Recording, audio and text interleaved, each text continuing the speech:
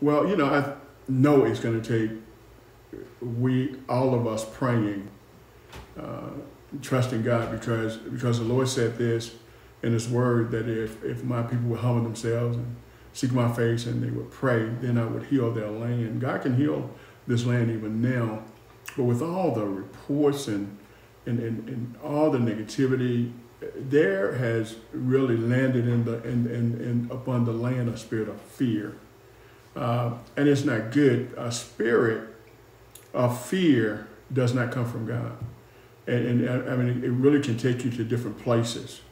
Uh, and so I believe God has given me a word pertaining to uh, how should we deal with this humongous spirit of fear that keeps circulating and jumping and moving around. Uh, so I'm gonna I'm gonna try and, and, give you the best that God's given me in that. Let us let us pray and, uh, and then we'll get right into the word. Heavenly Father, right now, we bless you, we glorify you, we worship you, we praise you. Father God, we just ask in the name of Jesus Christ that you will you will have your way. Father God, we lift up every situation, all situations. And Father God, we just ask that you will intervene. We ask that you will help us. We ask that you will bless. We ask that you will encourage. Father God, let us let us not lose faith. Let us not lose our courage. Oh, Father God, bless bless those that are that are serving, that are that are having to face every day the dismay and the and the challenges that are so much greater than man. Have mercy on those that are on the front line. Strengthen them and, and be God inside of them because they are needed in this season, Father God. And then we're asking that you touch the, the doctors and the scientists. And, and Father God, we're asking, we're asking for a remedy. We're asking that you will give us a cure for this in the name of Jesus. Oh, Father God, and we rebuke the spirit of fear. We know that fear is not of you. So we rebuke that, we curse it, we render it null and void in the name of Jesus Christ. We rebuke a spirit of suicide. Oh, God, in the oh, glory to God. We rebuke a spirit of suicide in the name of Jesus Christ, Father God. Oh, and we, we speak that we will live and we will not die, that we are healed and we're not sick in the name of Jesus, Father. We rebuke that, that, that, that, that intimidation of sickness and that anticipation of sickness. We rebuke that in the name of Jesus. And Father God, we just give you the honor, we give you the glory, we give the praise for the victory. We're asking God that you, you will just encourage right now and, and then increase our faith so that we can openly rebuke our fear and Father God, we ask these things in the name of Jesus Christ. Now, Father, as, as you call this word to go forth, it shall go forth. And Father God, I yield to you. Holy Spirit, I yield to you that you might teach the word of God. And, uh, and, and, and I give you the honor, the glory, and the praise in advance. Let it be all of you and none of me. Uh, and bless your people. Open up ears so that they might hear during this time your word. Oh, Father God, open up hearts so they might receive and understand. Open up eyes so they might see your way. And Father God, we pray this in Jesus' name. Amen. Um, I, I said that, you know, fear, fear is a spirit. And, and, and let me give you 2 Timothy 1 and 7. It says, For God has not given us a spirit of fear, but of power and of love and of a sound mind. Now, I want to get into this just a little bit because I think that God's given me some things that will be critical, that if you can hear them and it will bless your hearts, especially during this time. First of all, fear is a spirit. A, a spirit is, uh, but, but is not of God. Fear is a spirit but it's not of God. Uh, we don't get it from God. Spirits move like the wind. Spirits move like the wind. One minute you are you're totally full of faith in God, then you can be in fear. Fear can come from nowhere. Now get this in your spirit. Fear is a tester of faith. Fear is a tester of faith. Ungodly, there's a reference there, two words that, that comes to mind there is a reverence unto God, which is which is a which is a fear, but then there is a spirit of fear that does not come from God. Uh, so we are we are denouncing and rebuking the spirit of fear. Uh, we, we must keep this is a thought I just gave you. Fear is a tester of faith. We must keep ourselves full of faith to defeat fear. Hear that. We must keep ourselves full of faith, godly faith, to defeat fear. When fear comes, we must remember or immediately find faith by proclaiming a promise of God or finding a promise of God in His Word. I, I got to do that again because I want you to really get that. When fear comes, now remember I told you it's like a spirit. It comes from anywhere, it comes from everywhere. And, it, and it's, it's, a very real, it's a very real overwhelming presence, especially during a time like this. So when fear comes, we must, we must remember or immediately find faith by proclaiming a promise of God or finding a promise of God in the scriptures. If we can't proclaim it, if we don't know it at that moment, if it's not coming up, then we need to we need to go and we need to find, we need to get in the scriptures and we need to find uh, uh, uh, God's promises concerning fear. Now, now here, here's another thought. Faith in God takes the authority, get this now. Faith in God takes the authority and the power out of the spirit of fear. Faith in God takes the it takes the authority and it takes the power out of the spirit of fear. That's the only thing that can take the power and the authority out of out of fear is faith in God. That is the only way fear can be defeated. It's the only way faith in God, meaning that I'm trusting God and His Word is in me, and uh, I'm, I'm, I'm able to use because the Bible says faith cometh by hearing. So out of my mouth, I must have an arsenal of God's Word already in me, ready to speak to fear, ready to speak fear. I mean, with everything that's going on out here and all the challenges and you're looking for something good and then something bad comes up and you're, you're seeking to hear something, you know, recovery and people are doing fine and things are turning around. And then you, you get somebody that'll say something all off the wall. And so, so remember, when the more you get faith in God and the more you look for hope and the more you desire to experience the power of God, fear is looking for you. Fear is searching, searching for you. Fear is a, fear is a spirit. Our faith, now this is this is this is the thought.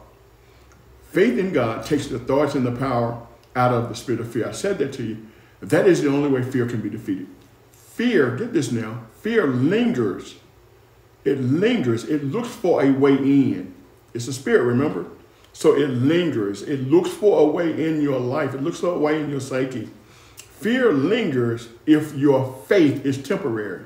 A lot of times we can get what's called temporary faith or a little bit of faith and, and, and we'll hear the word of God real quick and, and we don't meditate on it, we don't concentrate on it.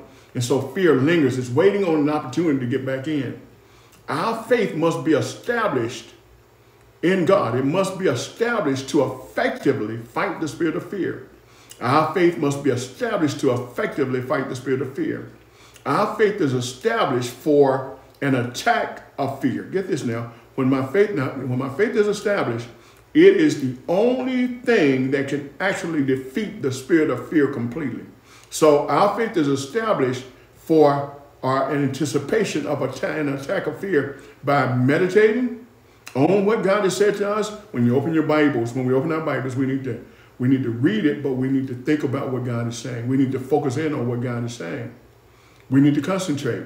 We need to really keep it in our heads and keep keep keep bringing it forth and, and looking for the meaning and getting an understanding and meditating and concentrating on exactly what the Holy Spirit instructs us to do at that moment. Now get this in the spirit. When fear comes, when the spirit of fear comes, when you're filled with the Holy Spirit, the Holy Spirit will give you wisdom at that moment. The Holy Spirit will call, call back to our remembrance, God's not giving the spirit of fear. God's giving the spirit of love, power, and of a sound mind. God's not giving the spirit of fear. And the more I say that, the more I stand in that, the more I focus in on that, the more I have victory, the more fear is defeated. Now remember, fear doesn't, doesn't just leave. It's going to find to try and find another avenue. So you got to have these little arsenals. I'm going to give you some scriptures that you're going to be able to keep and you're going to be able to stand on. But you need an arsenal that will really fight this fear in this season. We all are, are people of faith and our faith in God should change things. But we have to be ready to combat fear because we're in a war right now. We're in a spiritual war and we must get victory. Uh, so, so, so, so our faith is established for an attack or for the attack of fear to effectively fight the spirit of fear.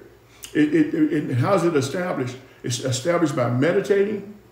And I know, you know, I keep giving it to you over and over again because I want you to have this. Concentrating on exactly what the Holy Spirit instructs us to do at that moment. When fear comes, the Holy Spirit is already ready for fear. It's all, he's, he's already in place in our lives to help us to overcome fear. Uh, so so when, when, when fear approaches us, we, we, we, must, we must immediately yield to the power and the instructions of the Holy Spirit. We must immediately yield to the, to the power and the instructions of the Holy Spirit. That's important. Now, now remember this: when fear approaches, when it comes, and it you know you begin to become a little anxious and a little bit upset and a little bit afraid, we must immediately yield to the power of the Holy Spirit. Immediately. You don't have any time to waste. Don't meditate on, you know, what you see, what you're thinking. Don't even do that. Just get right back on God's word and let it do what it does. The Holy Spirit is not going to encourage us to get angry. The Holy Spirit is not going to encourage us to fight. The, encourage is not, the Holy Spirit is not going to encourage us to be using profanity. It's not going to encourage us to get into a mindset of rage and revenge and anger and bitterness. No. No, because you know sometimes fear can be very intimidating. It can really alter your personality and send you in a place where you really don't want to be. So, so what the Holy Spirit does is this: the Holy Spirit, He's going to put the Word of God in our mouths. He's going to. He's, this is this is. He's not going to. If you if you get in this place where you where you're getting angry, you want to fight, you're using profanity, you're upset. Fear has fear has has managed to get in. Uh, fear, but listen, it's not too late. You want to recover, once you realize it's gotten in, recover as quick as you can. Don't worry about somebody when they say, you just got through cussing, now you're praying. Time to pray. If you, it is. If you, but you have to do that. You have to, you have to really just stay on. You have to realize I'm in a war right now. It's like, okay, sometimes, you know, you get hit, but as soon as you can recover, recover. So don't let people tell you, well, you don't need to be praying after you said all you can say. No, you need to be praying because God, because God is real and so is the enemy. So get this the Holy Spirit lives in us to help us have the victory over ungodly spirits. The Holy Spirit is the fighter of ungodly. Fear is an ungodly spirit. It also gives us power and authority over our own flesh, which, which leans to fear, which, which conjures up all the interaction with fear. We must learn to rely on the Holy Spirit to help us during times of fear. We, we, we, you can't do it on your own. Man can you can call somebody for support, and they can give you the worst testimony you've heard in your entire life. You have to really be able to rely on the Holy Spirit, and that is a prayer without ceasing, a continuous interaction with the Holy Spirit and talking to the Holy Spirit and uh, talking through the Holy Spirit to the Father. So we have to be able to rely on the Holy Spirit. Now, we have to know that it's the Holy Spirit, and we have to yield to the Holy Spirit. You, you know, Satan will make himself an angel of light, you know, and he can he can always sort of duplicate the word of God, but the Holy Spirit comes with power. It comes with power. So when you yield to the Holy Spirit, he literally takes over and he takes our mind and our hearts and our thought patterns into a new direction. The Holy Spirit. The Holy Spirit is the only one that can do that. The Holy Spirit is not going to leave us, brothers and sisters. When fear comes, because fear is very dangerous. So when fear comes, the Holy Spirit is not going to leave us. What he's going to do is he's going to shift us into a new direction. He's going to take our minds into a place of peace a place of serenity, a place of comfort, a place of security. The Holy Spirit will do that.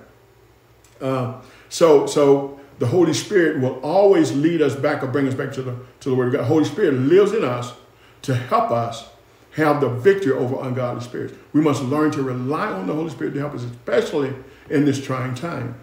Fear is very, very dangerous and should not be underestimated. Fear is designed to get one in agreement with it with the circumstances, what you see, so that it can consume your life, so they can alter your thought patterns, so it can alter your lifestyle, so it can cause you to go into this place that you don't even recognize yourself. So you have to openly rebuke fear. You have to acknowledge that, okay, I'm not gonna, I'm not, I'm, I'm not gonna receive this spirit. You don't have to receive the spirit of fear. It does not come from God. Fear, I say this to you again, I, I keep repeating things because I need you to hear this. This is gonna help you. Fear is dangerous. Get this now should not be underestimated. Fear is designed to get one in agreement so it can consume one's life by causing their fears to become their reality. Job chapter 3, verse 25 says this For the thing which I greatly feared is come upon me, and that which I which which I was afraid of is come come unto me. So so hear this, and, and so so hear this by the Spirit of God. God has not given a spirit of fear. We're not subject to it. We don't have to yield to it but it's it, comes, it continuously comes. So we have to fight against it. We have to literally like fight against it. We have to relax, calm down, get our mind together, walk away from the situation, walk away from the circumstances, and, and say these exact words God, this, this is not of you. I yield to you, Holy Spirit. I surrender to you. That is why we must have, have readily and available consistency. We must, we must have we, we, we must have readily and, and, and available consistently the word of God. 2 Timothy chapter 1, verse 7, for God has not given us the spirit of fear. But what God has given me is this power, that's dunamis, that's the power of God to overcome, to overcome, to overcome. God's given me spirit of love, perfect love, casts out fear, to cast it out. Sound mind. Sound mind means to get my thoughts together, back on God, back on victory, back on life. I want to give you some scriptures now because I think it'll really help you because, hear me, brothers and sisters, this is a trying time. And, and we must stand on, in and on the word of God, uh, regardless. Remember that because if David said something that was amazing, he said, if I, if, I, if I go to hell, you're there. If I'm here, you're there. If I go to heaven, you're there.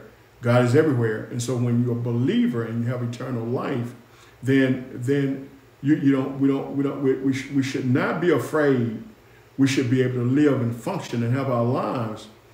And so you have to have the word though, in order to live and function and have your life during a time like this. Uh, Psalms chapter 56, verse 3 says this When I'm afraid, I will put my trust in you, Lord.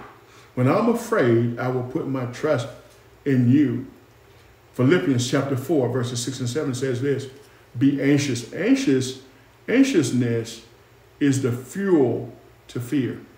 Anxiousness is the fuel to fear. When fear comes, fear is designed to really get you, to cause you to make a lot of mistakes. Anxiousness is, is energy. So the Bible said, Be anxious for nothing, but in everything by prayer and supplication with thanksgiving, let your request be made known to God, for the peace of God, which surpasses all comprehension, will guard your hearts and your minds in Christ Jesus. My, our mind is important. Psalms 34, verses 4 and 8. 4 and 8, not 4 through 8, but 4 and 8. I sought the Lord, and he answered me and delivered me from all my fears. Oh, taste and see that the Lord God is good. How blessed is the man who takes refuge. We must hide ourselves in the Lord, in the Lord by the leading of the Holy Spirit, by the leading of the Holy Spirit. A very, in, in, in, in John chapter 14, verse 27, this is what Jesus said as he was, he said, peace I leave with you. My peace I give unto you, not as the world give, do I give it to you. Do not let your hearts be troubled. Now that's eternal, eternal life talk. He's, you know, because he was telling them, I'm going to prepare a place for you. He said, don't allow the things you go through to cause your heart to be troubled because remember, you do have eternal life. This is not the end. Uh, so let me read that one again. This is Psalms 4, I mean, John chapter 14, St. John 14, 27. Peace I leave with you. My peace I give to you, not as the world gives, do I give it to you. Do not let your hearts be troubled, nor let it be afraid. Psalms 46, verses 1 and 2. God is my refuge and strength, a very present help in the time of trouble, in trouble. Therefore, we will not fear, though the earth should be removed, and though the mountains should slip into the heart of the sea, we will not be removed. We will not fear because God is able to secure us even now. Isaiah, and I'm giving you these scriptures because I know you need them. We all need them. We need the word to overcome this time. We need the word to function in this time, to live in this time, to keep thriving in this time, to keep believing God. We need God's word. It is our strength. It is the strength of God manifested in mankind, his word. Isaiah 41 and 10 says, Do not fear. For, Isaiah 41 and 10 says, Do not fear, for I'm with you. Do not be anxiously looking around and about. What he, what he means in this scripture is don't, don't listen. Don't be looking for the, the negative news and what everybody else has got to say. You know, just really get in the word, put your concentration and your focus on God. Let the joy of the Lord be your strength. Let me read all of Isaiah 41:10. Do not fear, for I am with you. Do not be anxiously, do not, do not anxiously look about you, for I am your God. I will strengthen you. Surely I will help you. Surely I will help, uphold you with my righteousness in my right hand. Now I want to talk to you just a minute because the scripture actually says, don't be anxious. Anxiety, when, when fear comes in, then anxiety comes in. Anxiety is the energy of fear. Anxiety is, is, is, is this. It means to, it means to, it's the overthinking of a thing with the possibility of making it real. Sometimes you, you know, you hear these, you, you hear all these reports and, and then you become afraid and then you get anxious and then, you know, just got trying to protect yourself. And then they say, you know, you've allowed it in through fear. You've allowed it in. That's, that's the work of fear. Fear is to, to make, to bring into our lives the things that Satan or the demonic spirits want in our lives rather than the things that God want in our lives. So, so what we have to do is we have to we have to fight anxiety because when we get anxious, then then what it what it literally does is it, it gives us the energy to think in line with that that wants that wants to defeat us, that, that want to enter our lives. So don't don't be anxious. You know, just just you know remember, so, you know, sickness is not of God. If sickness was of God, then why would He send Jesus to heal us? Jesus, I, you know, and by His stripes I'm healed. So so sickness is not of God. Of course, when you're dealing with healing, you're talking about the soul, but also in the natural man, because we saw Jesus in, in the scriptures that He would go about healing all sickness and all disease. So I want you to consistently believe God that that you're that you're healed. Please listen to me very carefully here, brothers and sisters.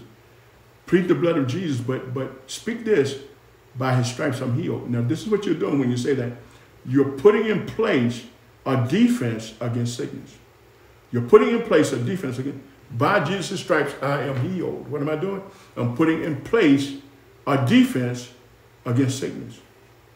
By the blood, listen, now, the blood of Jesus is really intended to cease death.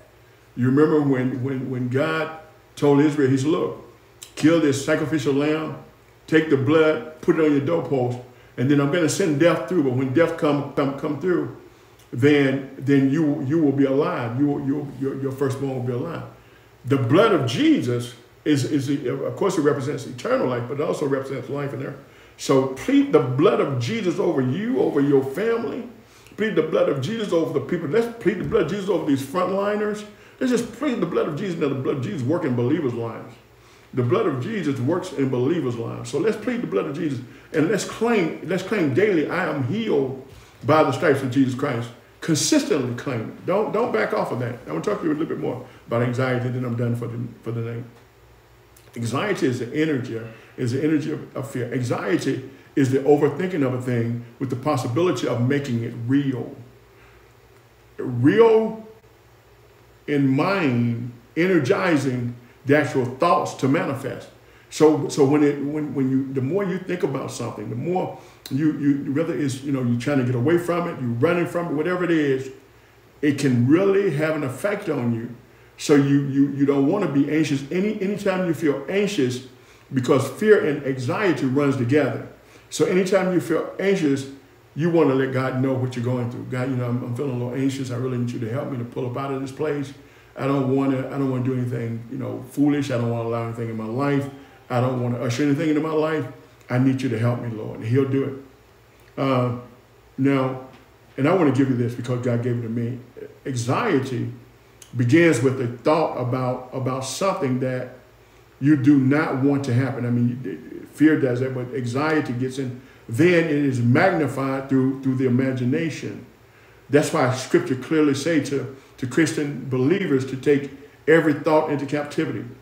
Second Corinthians chapter 10, verse 4 says, The weapons of our warfare are not the weapons of the world. Instead, they have divine power to demolish strongholds we tear down arguments. And so there's a, when you talk about the spiritual warfare of us being solid in Christ and everything that we're seeing, that's a battle.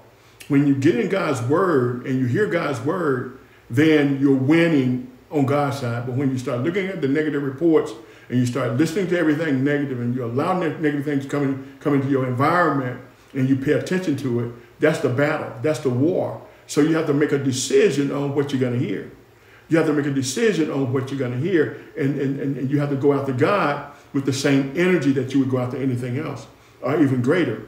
But you have to make a decision on what you're gonna on what you're gonna hear. So we have to take every thought, brothers and sisters. This is this is the thing that is challenging me. I know that that during this season, you know, you can you can be doing well, you can be having good moments, But then there, there are some deep challenges that are, that'll happen to you where your mind will go into another place. Hear me by the Spirit of God. We have the mind of Christ. You have to say that out of your own mouth. I have the mind of Christ. I have victory. I have victory in the name of Jesus Christ. Plead the blood of Jesus over your mind, over your thought patterns. Keep your mind in line with the Word of God. How do I do that? Keep hearing the Word of God. Keep hearing the Word of God. I rebuke the spirit of fear. I, I, I render it null and void in your lives and in your family life and in your environment in the name of Jesus Christ. And I do speak that God's given us the spirit of power, love, and of a sound mind. And that's what we have. Brothers and sisters, I want you to be blessed. I want you to be blessed. I, believe, I want you to believe, God, you're going to live and not die. I want you to believe, God, that you're going to be healthy and you ain't going to be sick. I want you to speak those things out of your mouth consistently. I thank God for you. But let me say this to you. You cannot effectively have the confidence that comes from the Holy Spirit if you don't have the Holy Spirit. The Holy Spirit brings confidence, it brings power. If you don't have the Holy Spirit, you can't do it. Well, how do I get the Holy Spirit? Well, you got to accept Jesus Christ first. you got to accept Jesus Christ as Lord of your life. And what does that mean? You have to confess with your mouth the Lord Jesus and believe in your heart that God raised him from the dead. Remember, confession is not just I say Jesus is Lord. No, it's, it's believing everything about Christ that He came through that virgin's that virgin, He came through a virgin's birth, that He lived a holy life, that He that He that He went through the process and He gave His life for us. He went He, he was He went on the cross, went in the grave. He was raised. Now He's seated at the right hand of the Father, making intercession. Those things you have to believe in order to. That's a confession. You're confessing what you believe. You're confessing. You're you're agreeing with God. I do believe, and then when you do that then you have the victory in life. And then you ask, ask them to, to baptize the Holy Spirit. So this is what I'm going to do. I'm going to ask you if you are you saved, and if you if you passed away, if you left right now, would you go to heaven? If you're not sure, say this prayer with me. Father God, forgive me for my sins and my trespasses. Jesus, I need you. I need you to be my Lord. I need you to be my Savior. Please come into my life. Be my Lord and be my Savior. I surrender my life to you, Lord Jesus. Now with my mouth, I confess, Jesus Christ, you are the Lord of my life. With my heart, Father God, I believe that you raised him from the dead. And Father God, I thank you for baptizing me in the Holy Spirit. And the Holy Spirit teach me the things of God. In Jesus' name, amen. Oh, brothers and sisters, I, I, I pray God's blessings on you. I pray peace in your home and joy. And we'll, and, we'll, and we'll get back together again on Sunday. Be blessed in Jesus' name.